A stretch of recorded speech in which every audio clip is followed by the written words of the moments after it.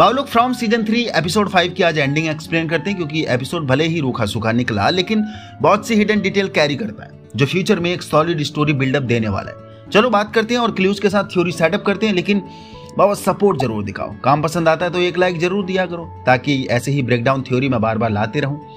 वैसे इस एपिसोड में सबसे ज़्यादा एक्साइटमेंट रैंडल को देखने के लिए था। बहुत एक्सपेक्टेशन थी कि कुछ धमाका करेगा, लेकिन मेकर का अभी मूड नहीं है रैंडल को इस्तेमाल करने के लिए। पर रैंडल में चेंजेस दिखने शुरू हो गए हैं। उसे जो ट्रॉमा आ रहे हैं, यानी जो झटके लग रहे हैं बार बार वो पक्का कन्वर्ट होगा, जो बहुत कम चांसेस हैं कि दोबारा से ह्यूमन फॉर्म में आ पाए। दूसरा, उसका जो नेचर है, वो पहले ही अग्रेसिव एंड अनडिसिप्लिन है। इसी के साथ साथ बॉयड ने एक और गलती उसे क्रिएचर के बीच छोड़कर कर दी। फ़िलहाल बॉयड की वो मजबूरी भी थी, वहाँ से निकलना, वरना रैंडल को बचाने के चक्कर में टैबी था जिम और विक्टर का बाप भी मर सकते थे। खैर, जब उसे कॉलोनी हाउस में अंदर लाया गया तो रैंडल बॉयड से पर्सनली नाराज़ था और ये गुस्सा उसके न्यू फॉर्मेशन में काफ़ी ट्रिगर करने वाला है। यानी इन फ्यूचर ये कन्वर्ट होगा तो इसके पास एक वजह होगी कि ये लोग साले अपने नहीं हैं, इनको पेला जाए। खैर दैट्स माय थ्योरी कि कन्वर्ट होगा करके, लेकिन बाबा, अभी तक क्रिएचर ने किसी को भी ज़िंदा नहीं छोड़ा था।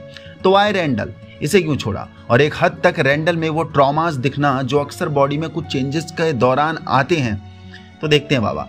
खैर, ये भी हो सकता है कि क्रिएचर टाउन के लोगों को सिर्फ़ डराना चाहते हो, वो भी बुरी तरीके से। रैंडल को ऐसे अधमरा छोड़कर, और फिर रैंडल धीरे धीरे तड़प के उनके सामने मरेगा, जो टाउन वालों को और ज़्यादा स्केयर करेगा। उन्हें गिवअप करने पर मजबूर कर देगा। जो बॉयड टाउन के लोगों को फ़िलहाल गिवअप करने नहीं दे रहा है तो मे भी ये एंगल भी हो सकता है। बट मैं रैंडल को कन्वर्ट होते देखना चाहता हूँ। एक न्यू बीस्ट के रूप में, जो इन क्रिएचर से भी ज़्यादा ब्रूटल, सैवेज एंड पावरफुल हो। खैर, देखते हैं बाबा एपिसोड सिक्स में वो तो वही पता चलेगा। लेकिन दूसरी तरफ़ स्टोरी का एक और महत्वपूर्ण पार्ट जेड और टेविता का चल रहा है, जो दोबारा से मैजिकल ट्री पर पहुँच चुके हैं। और ये तो तय हो गया कि भाई magical tree is not solution for come out this fucking town, जो अभी तक हमें लग रहा था कि यस, जैसे टेविथा निकली और वापस आ गई तो शायद टाउन के बाकी लोग भी निकल जाएँगे। मैजिकल ट्री ने पहले ही सबक दे दिया, क्योंकि टाउन के लोग डिपेंड होने लग गए थे उस मैजिकल ट्री पर, और डेल ने कोशिश करी, पर मारा गया, वो भी बुरी तरीके से। बाबा अनारकली को चुनवाया था ऐसे दीवार पर, यहाँ पेड़ ने ही चुन दिया इस डेल को। तो फिर से जो अभी तक होप लग रही थी, फिर न्यूट्रल कर दिया मेकर्स ने, फिर ज़ीरो पर लाकर खड़ा कर दिया, और फिर से ढेर सारी मिस्ट्री डिलीवर कर दी। खैर जेड एंड टेविथा बॉटल्स में से निकली चिट्ठियों को डिकोड करने की कोशिश कर रहे हैं, क्योंकि उन चिट्ठियों में चार डिजिट नंबर हैं। अब ये क्या पैटर्न हो सकता है? नो बडी नोज़ लेकिन हाँ इन चिट्ठियों का वास्ता सीधे सीधे इस मैजिकल ट्री के रास्ते से हो सकता है, यानी बाहर निकलने के। जो मुझे पूरा भरोसा है कि जेड एंड टेविथा ज़रूर सफल हो पाएँगे। लेकिन इसी बीच उस मिस्ट्री साइन के बारे में भी जेड एंड टेविथा ने डिस्कशन किया। दूसरा उस टनल में वो फ्रीकी चिल्ड्रन जो पेन में हैं, जिन्हें टेविथा ने भी देखा था जेड ने उससे ये बातें भी शेयर करी और तब उसने एक बार फिर वही मिस्ट्री साइन के बारे में भी बात शेयर करी, जो जड़ों से बना हुआ था उस उन फ्रीकी चिल्ड्रन के जस्ट ऊपर। खैर, रास्ता तो मैजिकल ट्री से ही है बाबा। वो देखते हैं एपिसोड सिक्स में कि टेविथा एंड जेड इस चीज़ को डिकोड कैसे करते हैं। वैसे तो इस शो में बहुत सी मिस्ट्री थिंग्स हैं, लेकिन मैं इस पार्ट के लिए बहुत एक्साइटेड हूँ। आगे नेक्स्ट वीडियो में एपिसोड सिक्स के जो प्रोमो आया है, उसकी मदद से और भी फ्यूचर स्टोरी का ब्रेकडाउन करेंगे। लेकिन इसी के साथ साथ स्टोरी में एक नया ट्विस्ट और मोड़ मोड़ ले रहा है। जूली और हेनरी का वो स्टोर रूम में जाना और वहाँ से ढेर सारे पुरानी चीज़ों का मिलना।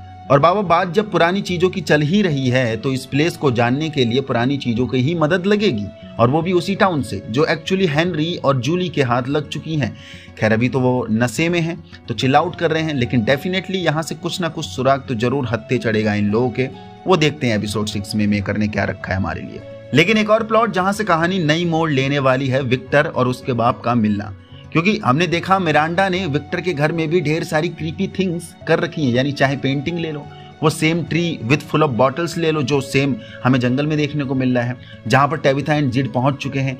अब दोनों बाप बेटे जब बातें शेयर करेंगे और जब बातें शेयर होंगी तो कुछ लूप होल ज़रूर निकलेगा, क्योंकि बहुत सी सिमिलर चीज़ें मिरांडा यहाँ इस टाउन में भी छोड़ कर गई है विक्टर के लिए, जैसे उसके घर पर है। जो बहुत लंबे समय से विक्टर का बाप देख ही रहा होगा तो कुछ नया लूप होल ज़रूर निकलेगा इस पार्ट से भी। देखते हैं बाबा, कहीं विक्टर के घर वाला पेड़ और इस टाउन वाला जो मैजिकल ट्री है, इन दोनों का कोई कनेक्शन ना हो। और ये जो पर्चियाँ हैं, उन बॉटल से जो मिल रही हैं, शायद ये वहाँ तक का पहुँचने का रास्ता भी हो सकता है। बहुत सी मिस्ट्री थिंग्स है, बहुत ज़्यादा। देखते हैं एपिसोड सिक्स हमारे लिए कितने सरप्राइजेस लेकर बैठा है बाबा, लेकिन आपने भी इस एपिसोड को देख लिया है, यानी फिफ्थ एपिसोड को देख लिया है। तो आपको इसमें कौन सा पार्ट हिट कर रहा है? मैं बहुत एक्साइटेड हूँ रैंडल के पार्ट के लिए देन उसके बाद जेड एंड टविथा के पार्ट के लिए। आप कौन से पार्ट के लिए एक्साइटेड हो? नीचे कमेंट बॉक्स में ज़रूर बता के जाना। आपका एक्सपीरियंस कैसा रहा है? आपकी तरफ़ से क्या लूप होल्स निकल रहे हैं? क्या क्लू सेट हो रहा है? क्या हिट कर रहा है? ज़रूर बता के जाना नीचे कमेंट बॉक्स पर। नेक्स्ट वीडियो प्रोमो के बारे में डिस्कशन करेंगे। उसमें भी मदद लगेगी प्रीवियस एपिसोड की। देखते हैं आगे क्या कहानी खिचड़ी पक रही है मेकर की तरफ़ से। मिलते हैं अगली वीडियो में। यहाँ तक पहुँच गए तो उसका मतलब वीडियो पसंद आई है। पसंद आई तो लाइक करो, नए हो तो चैनल को सब्सक्राइब करो। जय हिंद।